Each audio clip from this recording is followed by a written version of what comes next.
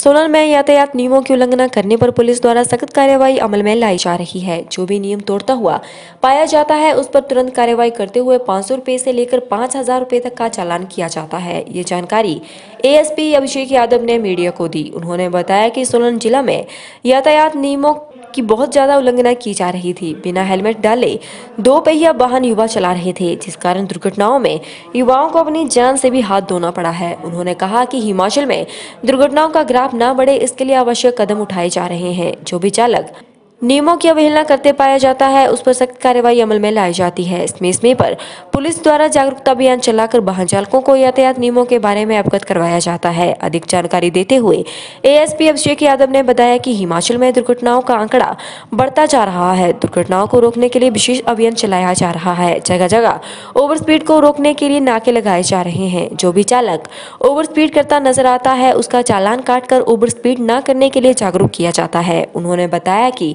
पिछले कल विभिन्न धाराओं में तीन चालान काटे गए और एक लाख उन्नीस हज़ार जुर्माना भी वसूला गया। उन्होंने कहा कि उनका अभियान तब तक जारी रहेगा जब तक कि शहरवासी यातायात नियमों की पालना नहीं करते।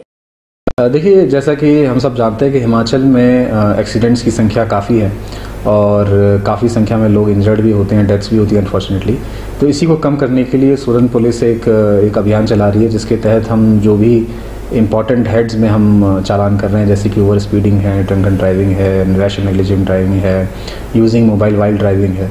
तो उसी कैंपेन के तहत हमारी कोशिश ये है कि डेली हम लोगों को अवेयर भी करें इस संबंध में और उनका चालान भी काटें, जिससे उनकी जान भी बचे और बाकी लोगों की सुरक्षा भी रहे। तो इसी अभियान के तहत हम डेली काफ़ी संख्या में ओवर स्पीडिंग के नाके भी लगा रहे हैं। और जहाँ जहाँ इस तरह के वॉलेशन पाए जा रहे हैं, उनका चालान किया जा रहा है। अगर मैं कल की बात करूँ तो कल सोलन पुलिस ने लगभग 374 एम एक्ट में चालान किए हैं और तकरीबन एक लाख उन्नीस हज़ार जुर्माना राशि वसूल की है।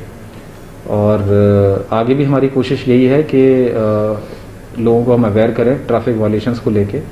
और जहाँ हमें दिखेगा कि लोग नहीं मान रहे हैं या ज़रूरत है तो चालान भी किए जाएँगे। लेकिन पर्पज़ चालान करना नहीं है पर्पज़ ये है कि लोग ट्रैफ़िक रूल्स का पालन करें और अपनी सुरक्षा और दूसरों की सुरक्षा भी सुनिश्चित